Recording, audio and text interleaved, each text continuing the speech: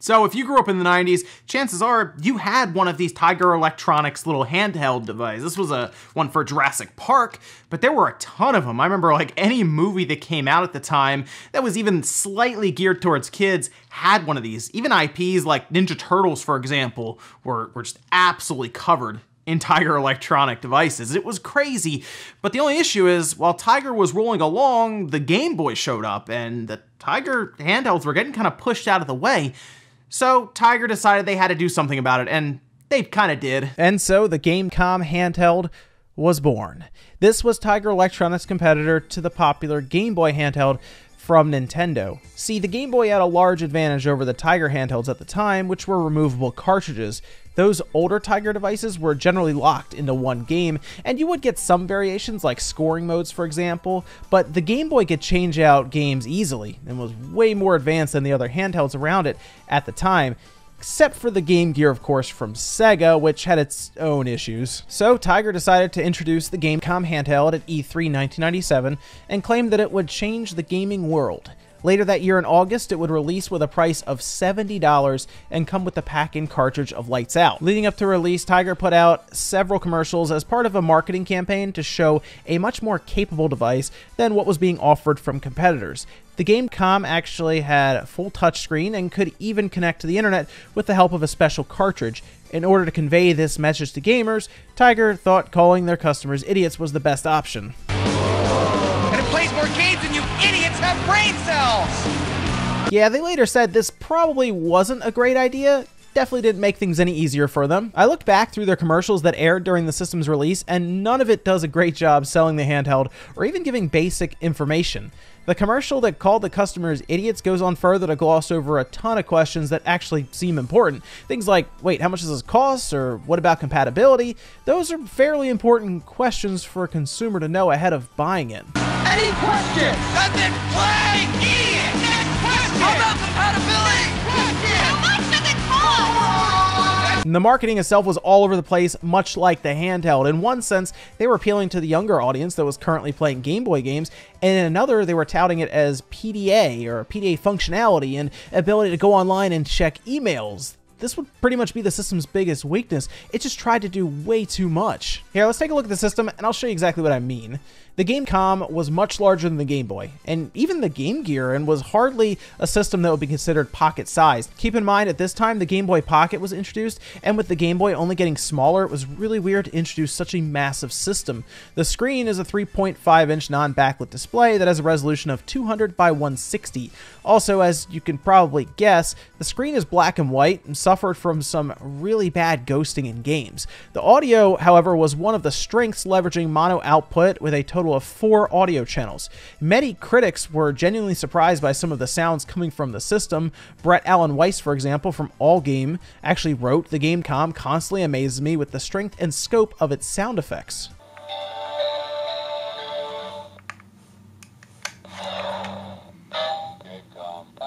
On the front, we have what I think is one of the worst D-pads that I've ever used in my life.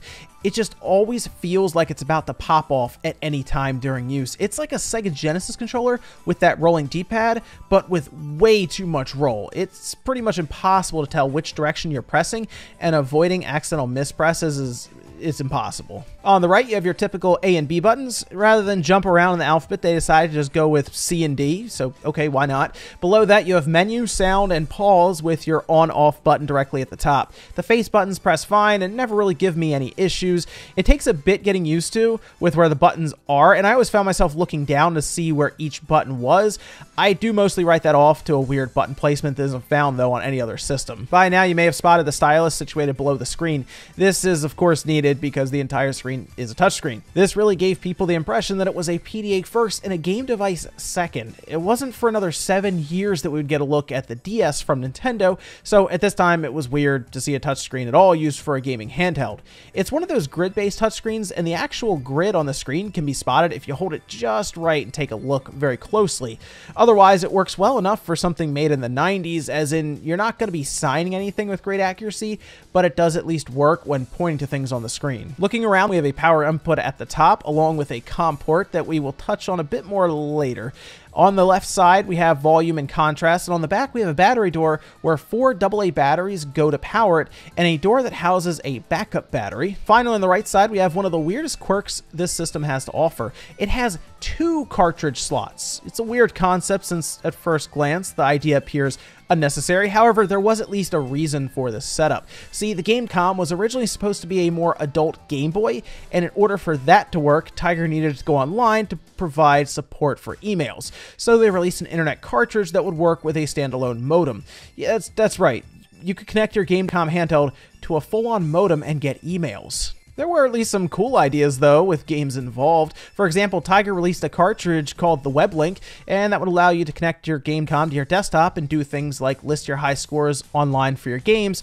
There's only one problem. Uh, I said idea because no game ever seemed to actually support that idea. Well, while we're taking a look at the system, we might as well play some games to see how it looks. First, though, let me ask you a question. Have you ever seen a Gamecom game sealed? Well, congratulations, now you have. Here, we might as well unbox it while we're at it. They stock these games in these hard plastic cases, which are insanely frustrating to open. This is the type of plastic you need scissors for, and even then, you need to be careful not to accidentally cut the game box. I guess it made it easier to hang on the wall in retail stores, but other games would just stick a hanger to the shrink wrap around the box. Some of the games on the system might actually surprise you. We're unboxing Sonic right now, but they also had games like Resident Evil 2, Jurassic Park, Duke Nukem, Mortal Kombat, and even Batman and Robin. When I read down the list of games, I'll admit, I couldn't believe half of these games existed for the system, with Resident Evil 2 probably being the most surprising. We'll look at Resident Evil a little later though in this video, so don't worry. The games come in a standard cardboard box, and inside was a plastic insert that held the tiny cartridge in place. It's quite a bit smaller than a Game Boy game while being a little thicker. Of course, a game wouldn't be complete in the 90s without a printed manual. Yeah, this whole manual situation is kind of a shame. It's got out of hand. We have games that don't come with a manual. We have ones that have advertising instead. And then we have ones, and I'm not even kidding, they come with a piece of paper, this is from Borderlands, that tells you to go and download the manual online. They give you a little URL. They're not even saving, not even saving paper anymore. They, they just don't feel like printing manuals. Anyway, back to the games. First up is Lights Out. This is the game that most Gamecom systems came with and is exactly as you would imagine.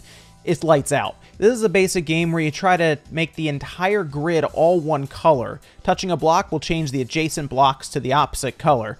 It's a basic puzzle game that already existed as other Tiger Electronic games, so this was a pretty obvious freebie for the system since it was so limited. Next up, we have Sega Fighters Mega Mix, which is a Virtua Fighter game for the Gamecom. Now, this system has ghosting issues and terrible input delay, but the higher-ups said, hey, a fighting game yeah, cool, let's put that on there. This might be the worst experience attempting to control a character on screen that I've ever seen. Attempting to roll the D-pad with timing inputs is clumsy, and because the screen has such serious ghosting issues, it's hard to even see what your fighter is doing most of the time. It's just not a good experience at all. I have to imagine most people would play this thing for 10 minutes and just move on. Sonic Jam was the only Sonic game on the system and was actually a compilation of Sonic 2, 3 and Sonic and Knuckles, which is actually a pretty cool idea.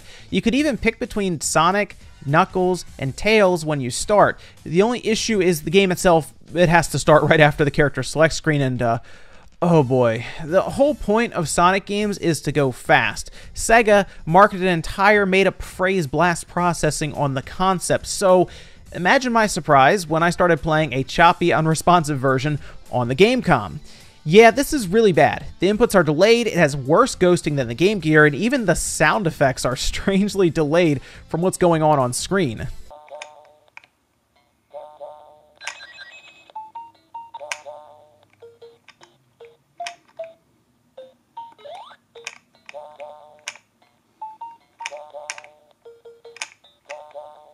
I'm starting to get an idea as to why this thing didn't sell. Resident Evil was the last game I tested, and it was the one that I was most intrigued with. How in the world could they fit such a big game onto a Gamecom cartridge? The atmosphere, the gameplay, the characters, all in the palms of your hands.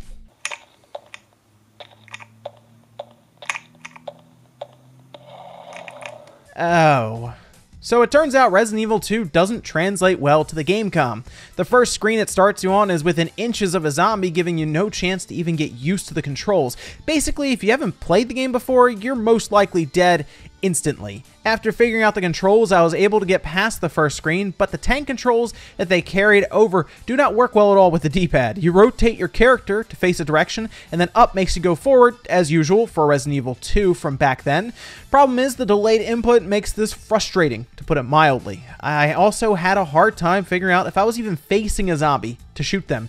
It's another miss for the Gamecom, and with the last game I have left being Wheel of Fortune, that might end up being the most playable game next to Lights Out. And with all the games out of the way, now we can go ahead and take the thing apart. Let's start by taking apart one of the games. I figure there isn't too much to see inside the cartridge, but we're this far, so why not?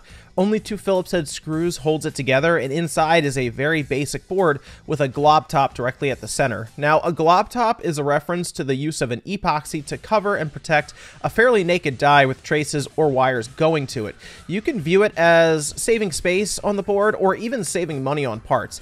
Either way, it's fairly annoying for what we're doing here since there's no part number on the chip to see. Now, moving over to the Gamecom, the entire back is covered in Phillips head screws along with a CR2032 battery behind a small door. After going around and removing these screws, there are also clips that need to be pried apart to get the front off. Once inside, things get a bit cramped since they opted to solder the speaker as well as the contrast dial to the board and screen. I decided to desolder the screen cables in an attempt to give myself more room to get the screen lifted out. Once the screen was out of the way, it becomes pretty obvious why I was having such a hard time getting this thing apart. There are full-size capacitors on the back of the screen that had to fit a certain way inside a plastic shell.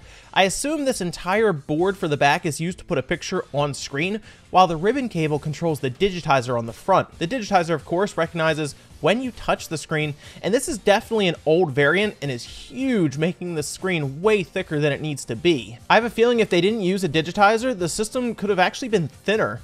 I also noticed everything is pretty much soldered with no clips being used at all. This is actually fairly common during the mid to late 90s, so I'm not really surprised to see this. Looking at it from this perspective, it actually reminds me a lot of the Game Gear's internals, but keep in mind the Game Gear used an entire CFL tube to light its screen, taking up a ton of space and requiring more power. While this is also large because of the screen, it's mostly because they opted for a touchscreen rather than a backlight. There's unfortunately not much we can identify when looking at the board since the chips are all covered in epoxy. We do have a few specs for the system, however, it was never officially disclosed. The Gamecom appears to use a Sharp SM8521 8-bit CPU and has clocked anywhere from 1 MHz to 10 MHz, with the consensus being it sits right at 4 megahertz to save battery power.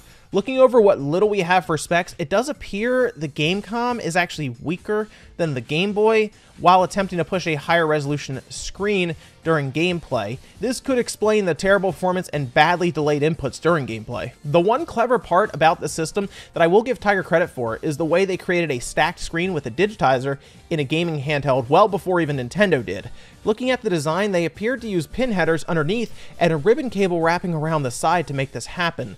Those pin headers plug into a socket on the board fastened to the screen so it fit in snug during assembly. It's an interesting way to save space before we were using full ribbon cables and LCD displays. At the end of the day, the Gamecom ended up being a commercial failure, selling less than 300,000 units in total. Tiger even attempted to introduce a revision later on at a cheaper price of $30 with a backlit screen.